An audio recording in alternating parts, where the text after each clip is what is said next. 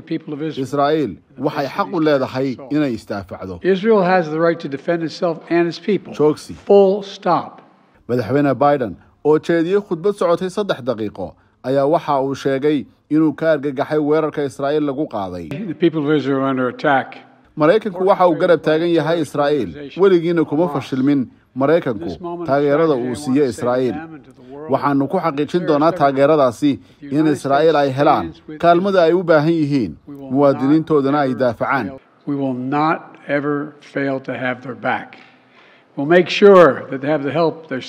adduunyadu waxay arkaysay sawirada weerarka xamaas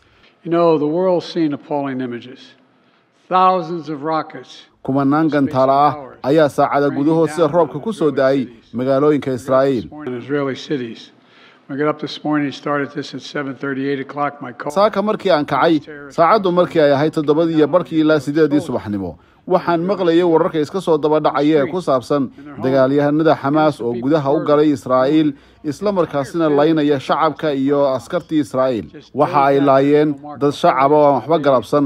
Waxaana ay qafaasheen qoysas dhan oo halkaasi deganaa markii aan saaka la hadlay ra'iisul wasaare netanyahu waxaan u sheegay in maraykanku uu garab taagan yahay.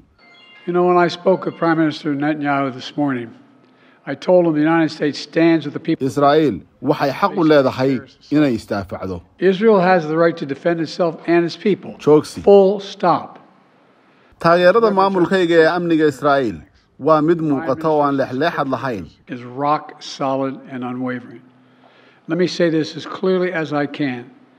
aan si cad u idhaahdo arrintaasi wax kastoo aanu awoodno xilligan inaannu siinayno israa'iil. waxaanan ku amray kooxdeeda amniga qaranka inay la xidhiidhaan dhigooda israa'iil.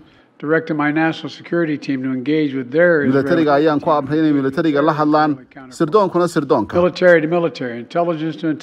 diblomaasiyiintuna sidoo kale inay la xidhiidhaan diblomaasiyiinta israa'iil diplomat to diplomat, to make sure Israel has what it needs. si loo hubiyo in israa'iil ay haysato waxay isku difaaci lahayd lagana caawiyo dhinaca awoodda sidoo kale waxaan madaxda xukuumaddayda aan faray inay si joogtaa ula xidhiidhaan madaxda gobolka oo dhan oo ay ku jiraan.